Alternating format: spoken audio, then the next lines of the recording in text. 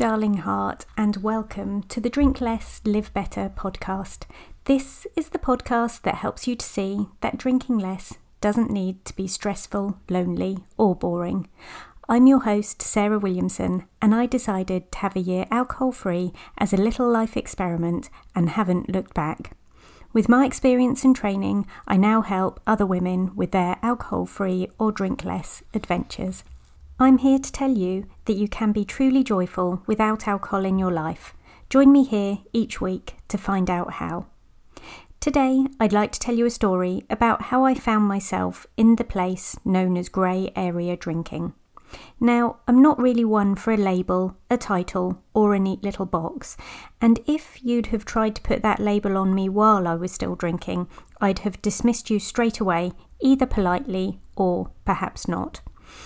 The passing of time is a wonderful thing, however, and I look back and can now see, clearly see that I was, for a very long time, a grey area drinker. A grey area drinker is someone who falls into the bracket between never drinking and severe alcohol misuse. Society tends to view problematic drinking in black and white terms. You're an alcoholic and you need to be fixed, or you're not an alcoholic and are therefore okay. Well, I think it's more nuanced than that. Jolene Park, who I trained with, has an excellent TED talk on the subject of grey area drinking. She sees it as the space between the extremes of rock bottom drinking and every now and again drinking. A grey area drinker could be consuming a couple of glasses of wine each evening, or could be someone who binge drinks at the weekend, or someone who can abstain for a month at a time to prove they haven't got a problem. I was capable of any of those behaviours, and looking back, I fitted the description of a grey area drinker very neatly. I was never physically dependent on alcohol, but I used it to help me to alter my state of mind into relaxation on a regular basis. This can be a really confusing place to be when you first start to see alcohol for what it is. I'd say, but I'm not doing anyone any harm. I'm sinking a couple of glasses of wine on the sofa and then I'm going to bed. What's the problem with that? Ah, past Sarah, let me tell you the ways. But past Sarah wouldn't have listened to a word future Sarah had to say on the subject because she wasn't ready.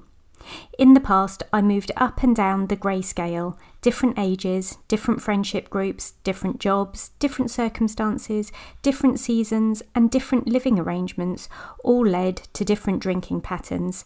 And when I say different, I mean constant.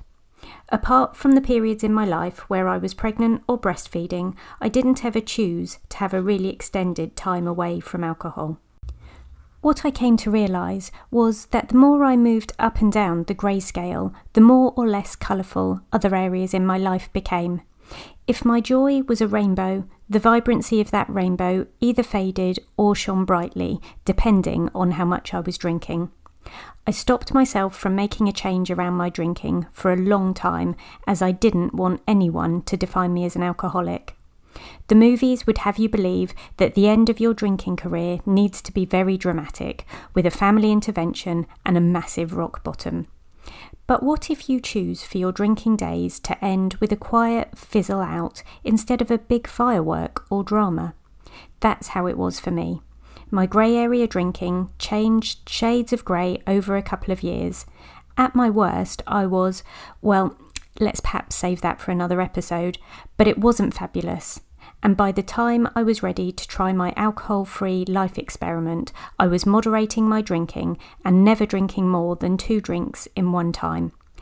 However, the shades of grey no longer felt good, and I wanted a full on Technicolor rainbow, and I knew that to get one, I had to do away with the other.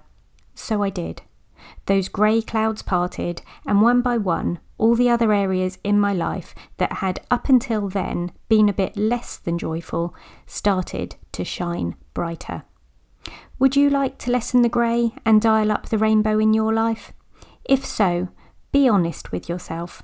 Make a solid plan and find some support if you need it.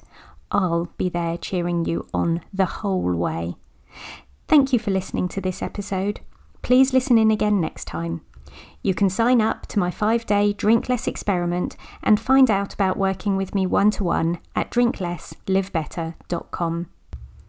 I'd love it if you could five star rate and review this podcast. It'd make me as happy as Larry if you did. Who's Larry? Anyone know? If you do, drop me a message and tell me. Thank you. And P.S. I believe in you.